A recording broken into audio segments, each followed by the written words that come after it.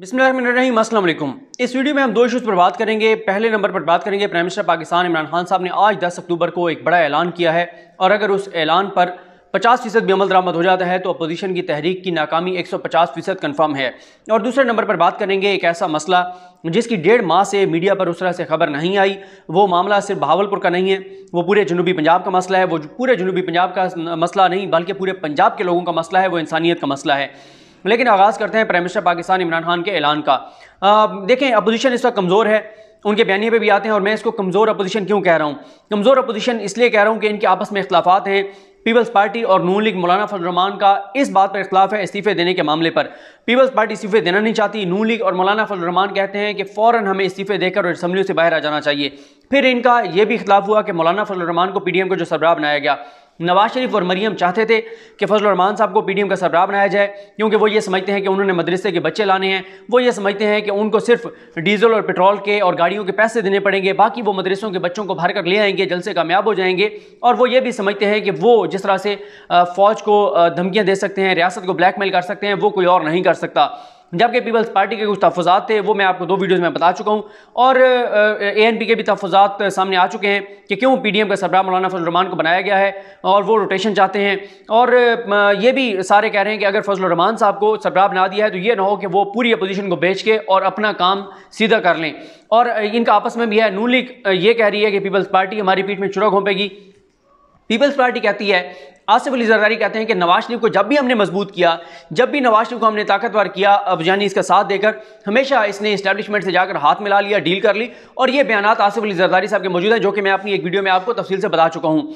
तो एजेंडा मुख्तलिफ़ है, अंदर से एक नहीं है इख्लाफात हैं, एक अतमाद नहीं है।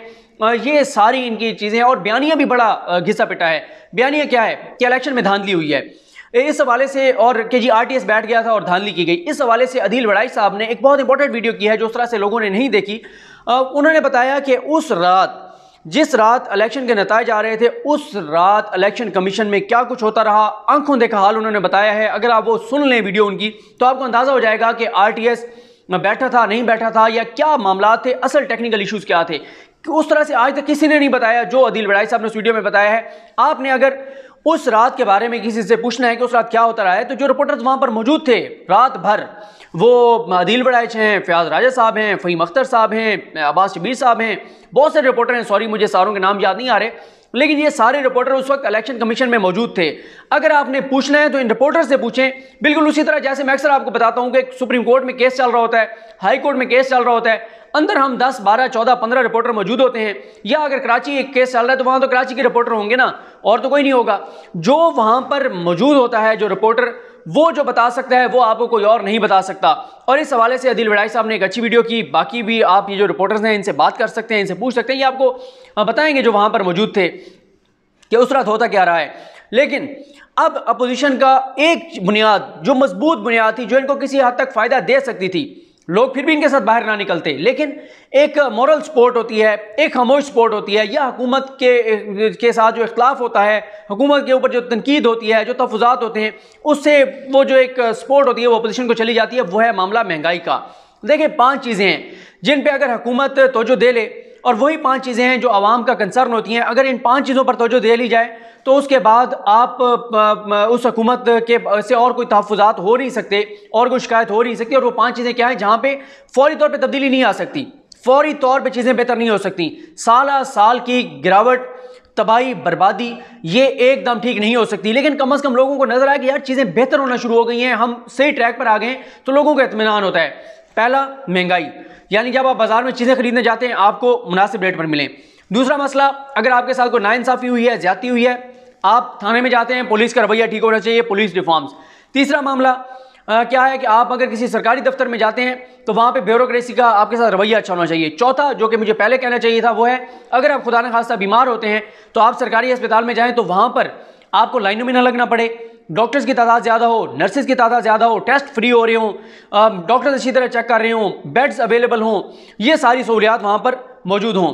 और पाँचवा जो इशू है, वो उस तरह से बररास हुकूमत का, उस तरह से उसके अंडर नहीं आता, लेकिन हुकूमत का उसमें किरदार है, और वो है जुडिशल रिफॉर्म्स के अदालतों में केसेस जल्दी सुने जाएँ, लोगों को इंसाफ मिले, तारीख पे तारीख ना मिले, और ना इंसाफ़ी ना हो, ज़्यादा ना हो, जुल्म ना हो। ये पाँच चीज़ें हैं।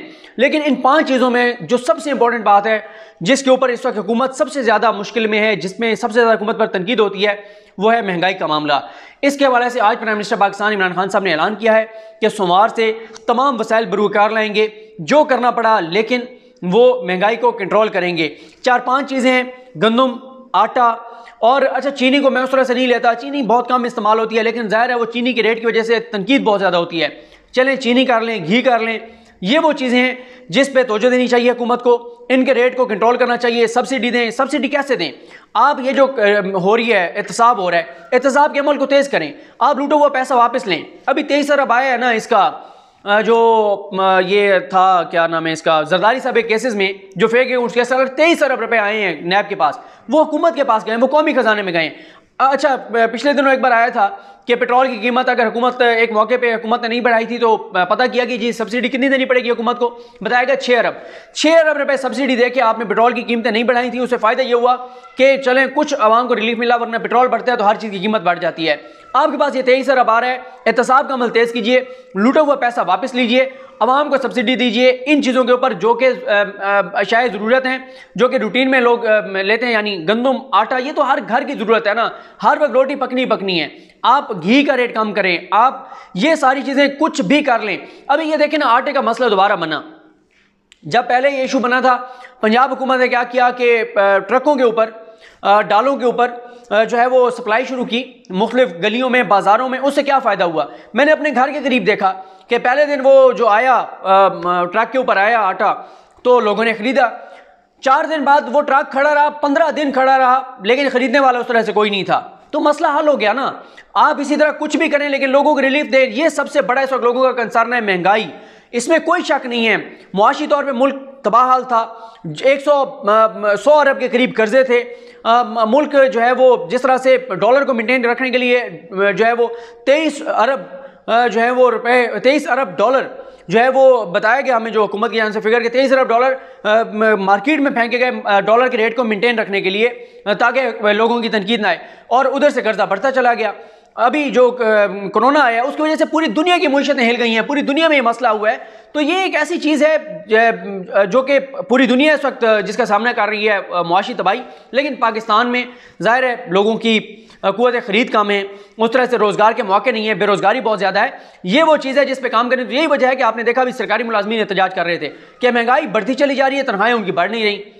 ताजरों का ये कंसर्न है कि जब लोगों की कुत ख़रीद कम होती है तो लोग चीज़ें नहीं खरीदते उस तरह से, उनका काम कम हो जाता है। तो ये वो एक वाइज चीज़ है महँगाई, जिसके ऊपर अगर इमरान खान साहब ने, इसके ऊपर कुछ 25 फ़ीसद भी लोगों को बेहतरी नज़र आ गई तो 100 फ़ीसद यकीनी अपोजिशन की नाकामी, उसकी वजह यह है कि लोगों को पता है कि इनके अपने ज़ाती मफाद है, इनके करप्शन केसेस हैं, कोई इनको आवाम की फ़िक्र नहीं है। मेडिसन की कीमतें, ये बहुत बड़ा कंसर्न है लोगों का।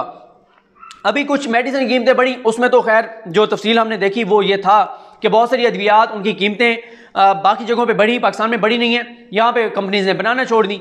जब बनाना छोड़ दी तो वो मार्केट में अच्छा खासा वो ऐसे समझें कि शॉर्ट हो गई। शॉर्ट हुई तो वही दवाई पाकिस्तान में भी लोग पाँच गुना ज़्यादा कीमत पर ख़रीद रहे थे। एक है कि एक दवाई पचास रुपए की है, और उसकी कीमत पैंसठ रुपए की जा रही है, लेकिन कम अज़ कम वो पैंसठ रुपए मिलेगी तो सही ना। ये तो नहीं है कि वो डेढ़ सौ रुपए की आपको मिल रही होगी ब्लैक में।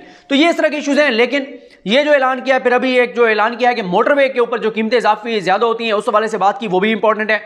और यहाँ पे मैं आपको एक और चीज़ ये भी बता दूँ कि मोटरवे के ऊपर जब भी आप जाएँ या आप अपने अपने शहरों में तो सोशल मीडिया का इस्तेमाल करें। जहाँ पे कोई चीज़ महँगी मिल रही हो, तस्वीर बनाएँ, उस दुकान की तस्वीर बनाएँ ट्वीट कर दें मुतल डी को टैग करके। इससे असर पड़ता है, इससे एक्शन होता है, इसमें इंतजामिया पर दबाव बढ़ता है, इस पर हुकूमत का दबाव बढ़ता है। ये तो थी जी महँगाई के हवाले से जो है वो बात और सूरत हाल। मैंने आपको शुरू में कहा था